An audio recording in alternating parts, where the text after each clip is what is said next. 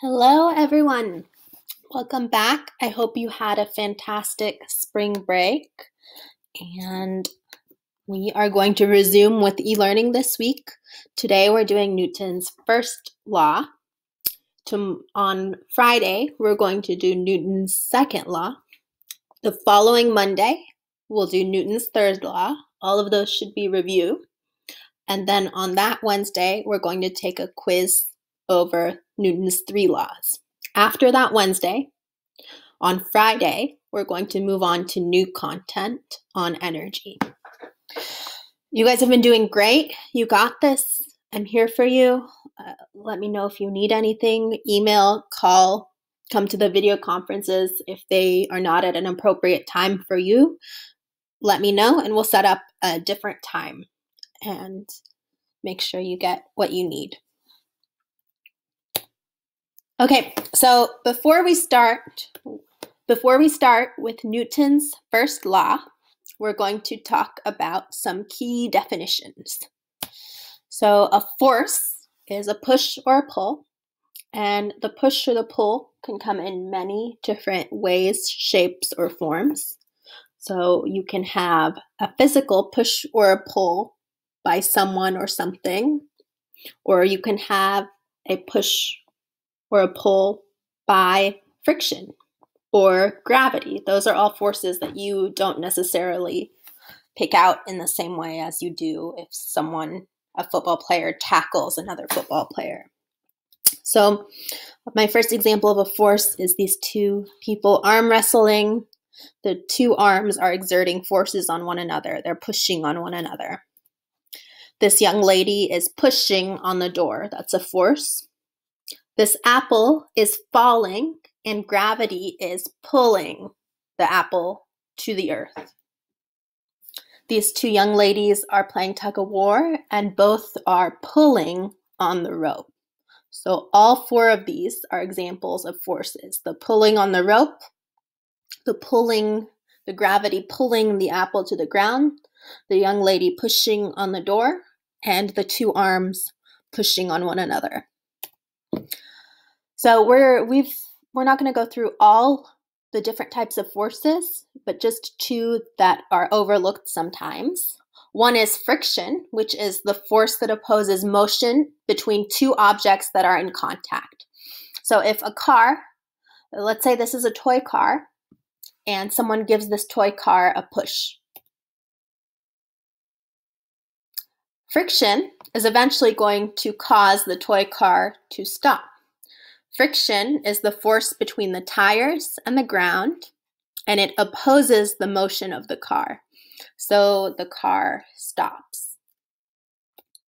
Gravity is going to be a downward force experienced by all objects on Earth.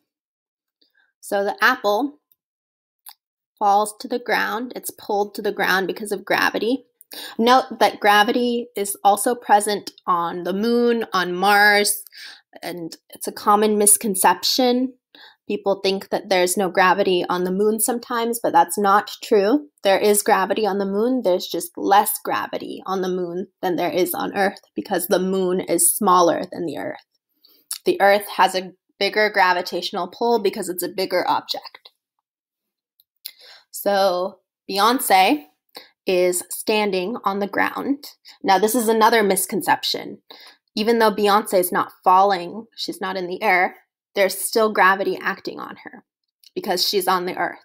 So the gravity is pulling her down, keeping her feet planted on the earth.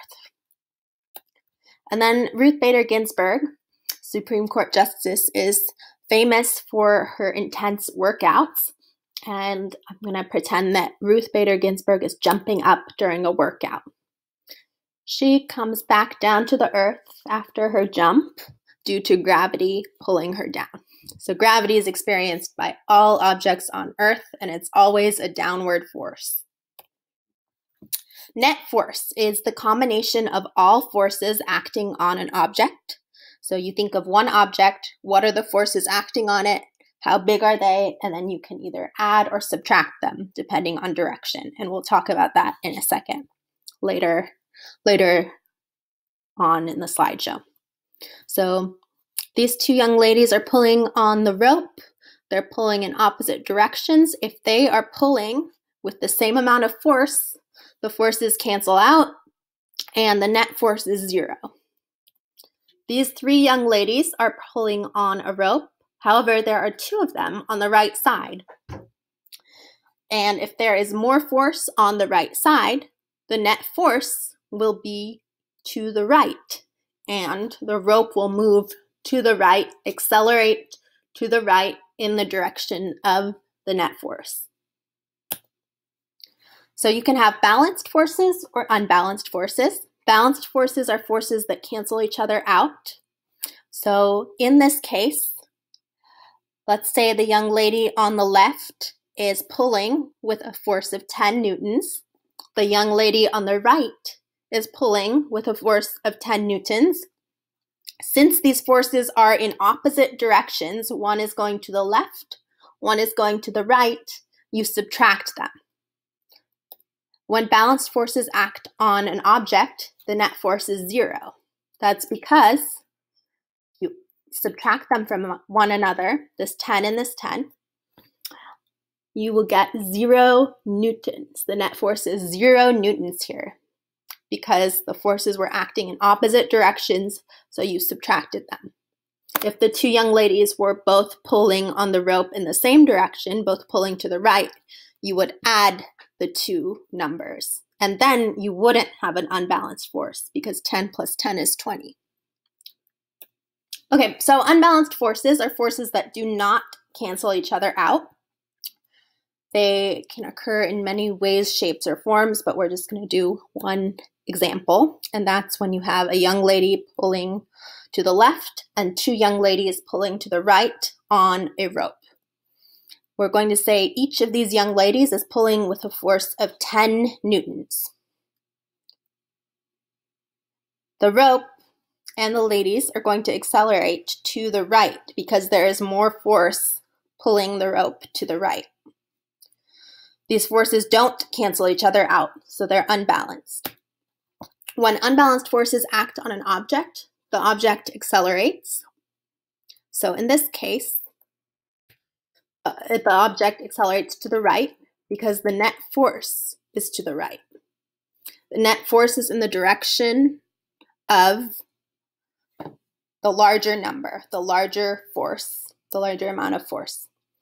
So the reason the net force here is 10 is because we have 10 newtons plus 10 newtons pulling to the right. You add the two numbers together if they're going in the same direction.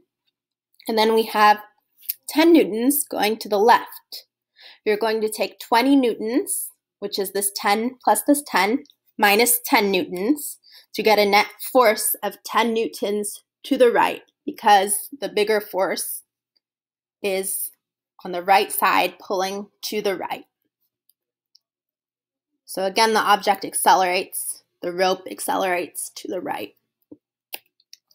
So Newton's first law states that an object in motion stays in motion, and an object at rest stays at rest unless it's acted on by an unbalanced force. So I have Neil Armstrong here, and he's in a car. And let's say this is a toy car, and I give the toy car a little push. The toy car moves a little bit, but it's not going to move forever. It's uh, eventually going to stop. But if there were no forces acting on it, it wouldn't stop. There's a force, and you might not see it initially, but think for a second about what that force is stopping the car from moving. The force between the tires and the and the ground is called friction. So it slows the car to a stop. We have Amelia Earhart here and Beyonce. So Beyonce is an object at rest. She's not moving. She wants to remain at rest unless she's acted on by an unbalanced force. So she keeps standing. She doesn't want to move. Then Amelia Earhart comes over and gives her a push. Because of that push, because of that unbalanced force, Beyonce starts moving. But if she didn't have that unbalanced force, that push, Beyonce would stay standing still because she began standing still. Okay, inertia. So the law, first law, Newton's first law, is also known as the law of inertia. Inertia is an object's tendency to resist changes in motion, and a really good example of that is cars and seatbelts. So Ellen DeGeneres here is standing on top of a car, and she doesn't have any kind of seatbelt on, nothing holding her down. So the car starts moving, Ellen starts moving. The car hits the brakes and comes to an abrupt stop, but Ellen keeps moving because Ellen is resisting changes in motion. Ellen was moving, she wants to keep moving. There's no force on her, no force stopping her. So when Ruth Bader Ginsburg jumps up during her workout, why doesn't she keep moving upwards, right? If something's moving in a certain direction at a certain speed, inertia tells us it wants to keep moving in that direction at that speed. It's because there's a force acting on Ruth that brings her down to the ground. That force is called gravity. So Earth's gravitational force causes Ruth to accelerate downward. She jumps up. She doesn't keep moving up because gravity is pulling her down. She comes back to the ground. Our last example Salvador Dali is skydiving. He opens up his parachute. Why does he slow down? So here's Salvador Dali in his parachute. And if he was in motion and he wants to stay in motion, the law of inertia says he wants to keep doing what he's doing. But he slows down because there's a force. That force is air resistance. Air resistance, the air hitting his parachute, slows the parachute down. The parachute pulls on him and he goes at a slower speed, slows down, decelerates as he's falling towards Earth. Okay, guys, that's it for today. Thank you so much for listening. Thank you so much for your hard work.